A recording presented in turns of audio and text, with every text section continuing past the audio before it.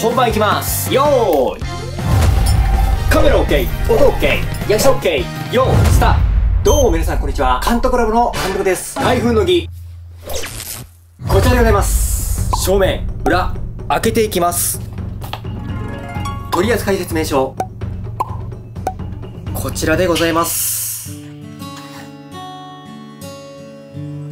2本セットです。ご家庭に眠っているお餅の包丁。そろそろ。切れ味。鈍ってきていませんか？今回紹介する商品は料理初心者から経験豊富なシェフまで手に馴染みやすいおしゃれな天然木の持ち手幅広い方におすすめな単独包丁ペティナイフセットを紹介します。この後包丁の切れ味をしっかりと動画に収めていますのでぜひ購入の参考にしてください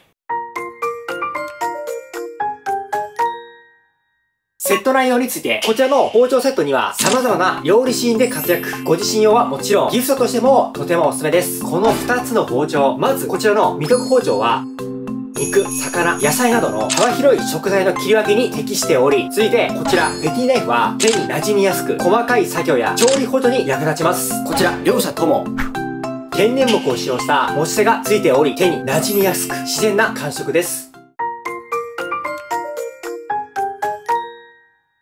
未徳包丁の使用について、ではこちら、剥がしていきたいと思います。はい。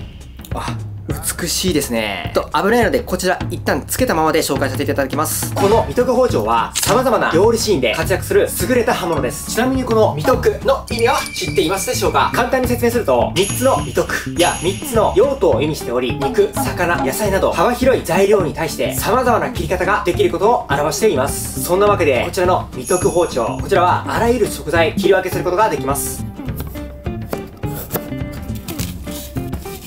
高品質のステンレスの刃は長持ち仕様で食材を正確に切ることができます。等身素材はドイツから輸入したステンレス鋼頑丈であり錆びにくい特徴があります。ペティナイフの使用について続きましてこちらのペティナイフ先ほどの未徳包丁と比べ等身の違い小さな食材や細かい作業、野菜のみじん切りや果物の皮むき、魚の切り身など様々な料理に活用できる小さめの刃先の包丁です。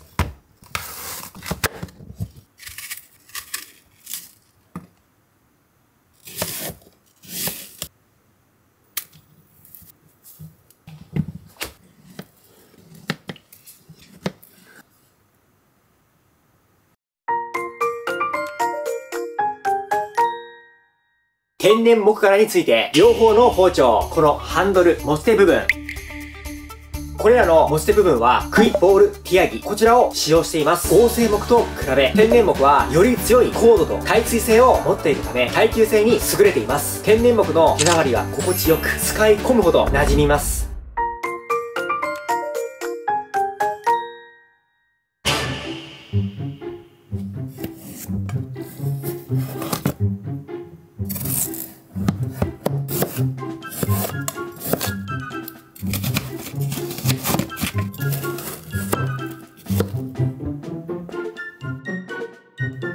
い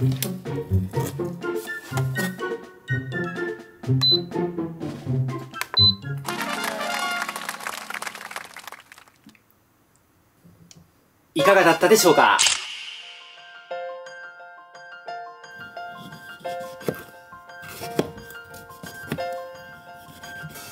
この包丁セット、興味が出てきましたら、ぜひ詳細をご覧ください。監督ラボの監督でした。また次の動画で会いましょうやっぱ、切れ味がいいと、料理のモチベが上がります。ぜひ、お持ちの包丁、この機会に変えてみてはいかがでしょうか？とてもおすすめです。本番いきます。よーい天然、天然木デザイン。